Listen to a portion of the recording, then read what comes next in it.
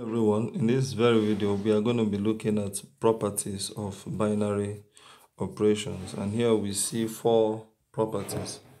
The first is called the closure property which is what we are going to be focusing on in this very video. The second is commutative the third associative and the fourth distributive. Okay so the um, the closure property an operation star on a non-empty set A has a closure property. If A if when A is an element of A and B is an element of A then A star B is also an element of A. Okay? What that means is that if you have a set that contains AB let's say you have a set A that contains AB and you operate you can see that a from this um, we can see that a small letter a is an element of a and b is also an element of a. Now if you operate a star b okay it must also be an element of a. It must also be an element of a okay? That's that is a closure property. That means when you operate two different element, your answer is also going to be an element of that set. Now, I want to quickly um, do an example here. Um, if I have a set, let's say I have a set um, 2, 3, 4, 5, and it is defined under this operation. Let's say that x um, star y must be equal to x, okay? Now x star y must be equal to x. Now, meaning that if I want to operate any of these two, let's say 2 star 3, according to this, 2 star 3 will be equal to 2 because x star y is equal to x. If I say 4 star 5, it is equal to 5. You can see that each all of them is an element. If I call this set P, you can see that this is an element of P. This is also an element of P. What if I say 5 star 5, it is still going to give me 5 even if I say 5 star 2 is still going to give me 5 because according to this definition x star s is x. But my point is that all the answers we are getting here are all elements of the set p. They are all elements of the set p meaning that this particular binary operation is closed under this set. Now i have some things here. First of all you know uh, we have several operations in mathematics but here I quickly wrote for just four operations. The first one is addition. Now, binary operation is always closed under addition. I mean, addition, sorry, is always closed under real numbers, natural numbers, rational numbers, and integers. Um, I may have to do a little explanation of what these numbers mean. Now, n here stands for natural numbers. Natural numbers are counting numbers.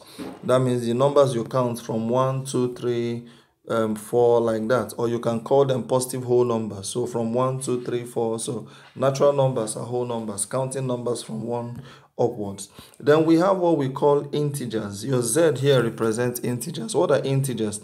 Integers are numbers that are positive or negative whole numbers are positive or negative whole numbers. That means it can be positive you can have negative minus 1 minus 2 minus 3 minus 4 it can also be positive plus 1 plus 2 plus 3 plus 4 okay? Now from what we see here it it is clear that natural numbers is the same thing as positive integers so positive integers are actually natural numbers. So that is what integers are. It's important if you want, if you must do well in these um, properties, you must understand the numbers. Now the Q here represents rational numbers. Rational, rational. Rational. Q represent rational numbers. And what are rational numbers? Numbers that are written in the form A over B. Any number you can write in the form A over B is a rational number. A good example is 1 over 2. A good example is 22 over 7. A good example is 3 over 2. And another good news is that all whole numbers are rational numbers too. So 4 is a rational number. Why? Because we can write it as 4 over 1. 10 is a rational number. Why? Because we can write it as 10 over 1. Okay? So that is it for rational numbers. Then we also have what we call irrational numbers. We represent it with Q complements. What are irrational numbers? Irrational numbers are numbers that cannot be written in the form a over b. You can't write them this way. An example of irrational numbers, you have surds. Surds is an irrational number, okay? And um, surds, you cannot write it as a over b. Example of surd, root 2, root 3, cannot be represented this way. Another example of irrational number are logarithms, you know. When I have log 2, I have log 3, you know, they are irrational numbers. You can represent them in the form a over b. Another good example is um, pi.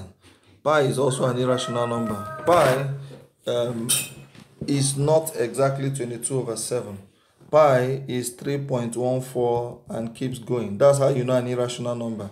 The fraction never ends, so cannot be represented as a over b. Okay, so those are the types of numbers. Now, coming here, we say that, and real numbers, finally, is the sum of rational numbers plus irrational numbers. So the combination, let me rewrite that here, q union q complement. So the combination of um, rational numbers and irrational numbers is what we call real numbers. So real numbers combines both okay? Now um so real numbers what that means that real number is any number you can think about.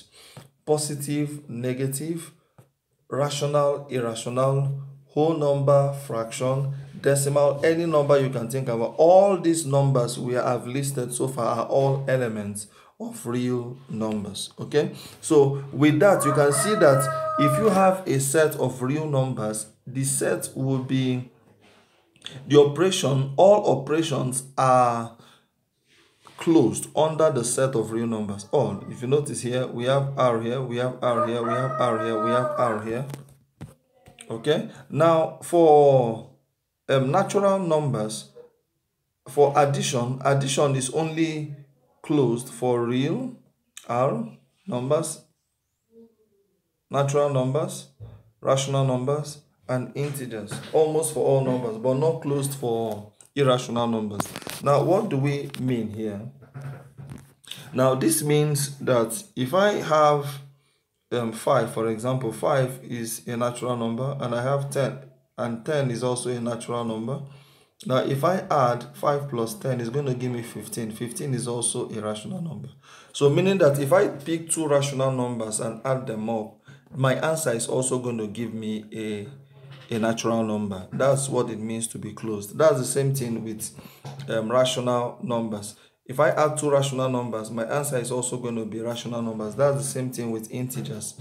Okay, so exactly what we have for addition is the same thing we have for uh, multiplication. Multiplication is closed under real numbers, natural numbers, integers, and rational numbers. We see an example. Let's say 100. You notice 100 is an example, is an element of integer. Let's say 5. 5 is also an element of integer. Now, if I multiply 5 times 100, it's going to give me 500, which is also an element of integer. So, it is closed. Now, the next is subtraction. Okay, if you notice here, subtraction is only closed under real numbers, rational numbers, and integer, but subtraction is not closed for natural numbers. Why do we say so? If 2, for example, is an element of a natural number, and 10 is also an element of a natural number, if I have 2 minus 10, I'm going to get minus 8, which is not an element of a rational number, you see? So not closed for the condition to be closed is that when you operate two different values, your answer is also going to be a member of that set. Now, the same thing here with division, okay?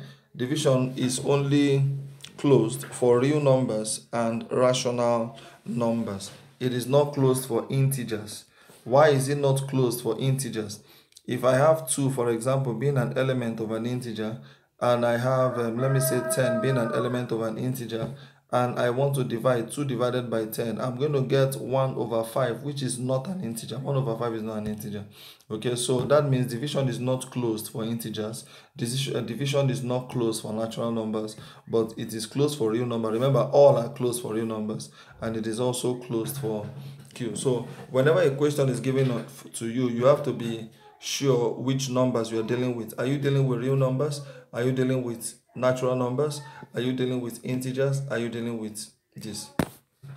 Let's say we are given that um, x and y, uh, for example, now are element of real numbers. Watch this, please. And we have that the binary operation now between x and y is x star y is equal to x plus y minus xy. Let's assume we have something like this. And I, I want to ask, if is this closed? Now, I don't even need to think twice to know if this particular operation is closed. Why? Because xy is an element of real numbers. Real numbers encompass all the type of numbers. So I don't even have to look at the question. I know that this is closed. You know, whether it is positive, negative, subtraction, division, exponent, whatever it is you can think about, it will always be closed as long as you are dealing with real numbers. But if I'm given that xy is an element of natural numbers, now there will be a problem.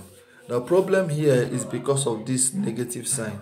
Knowing that there is a possibility of substituting a value for x and y that will give us a negative number. And negative numbers are not part of natural numbers.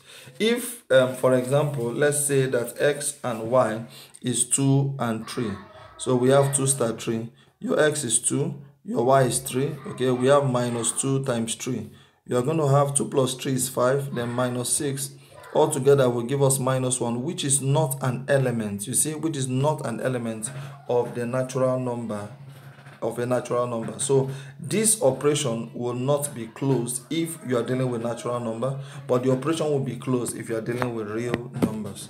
I want to believe that um, i have made myself clear here now let's see an example here. It says consider the set we have 1, 2, 3 with usual addition operation.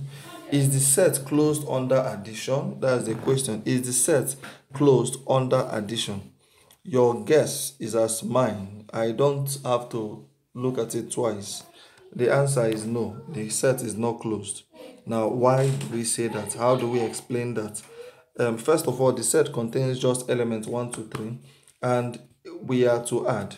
If I add 1 plus 3, it's going to give me 4. 4 is not an element of this set. Can you see that?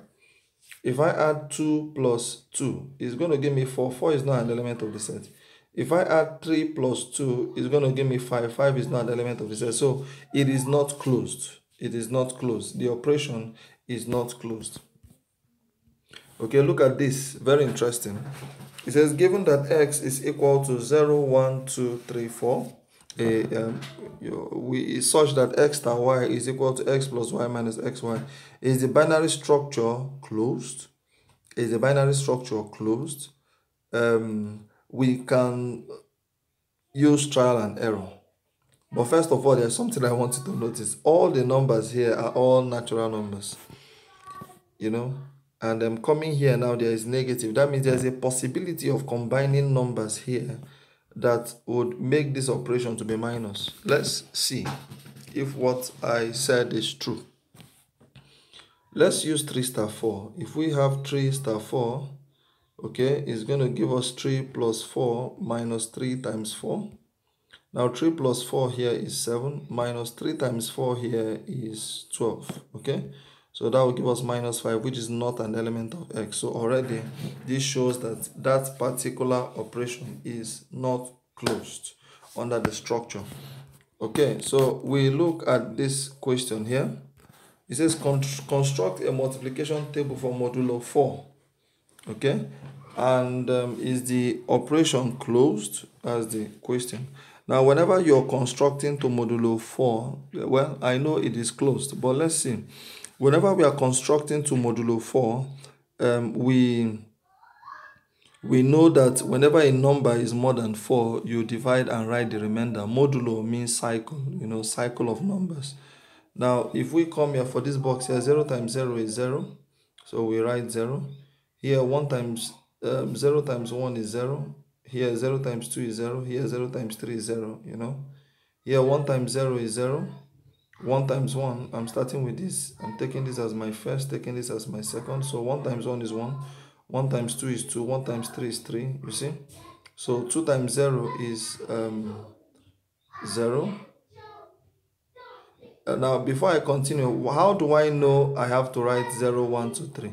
It's because when you're dealing with modulo 4, modulo 4 only contains, can only contain 0, 1, 2, 3. If I'm dealing with modulo 3, it can only contain 0, 1, 2. If I'm dealing with modulo 5, it can only contain 0, 1, 2, 3, 4. Okay? So um, 2 times 1 here is 2. 2 times 2 is 4. I can write 4. So 4 divided by 4 is 1, remainder 0. So the remainder is what I write here, 0. 3 times 2 times 3 is 6. 6 divided by 4 is 1 remainder 2. So I write the remainder 2 here. Um, 0 times 3 times 0 is 0 3 times 1 is 3 3 times 2 is 6 i can write 6 so i write the remainder 2 3 times 3 is 9 9 divided by 4 is 2 remainder 1 you see? So have you noticed here that actually the set elements of the set in modulo 4 like i explained earlier is 0 1 2 3 have you noticed that the whole answer we got here is still within the set is an element of the set? So it means that this particular operation is closed here under modulo 4 is closed. Thank you very much. Please do not forget to subscribe to my channel so that you get notifications of our classes. Have a nice day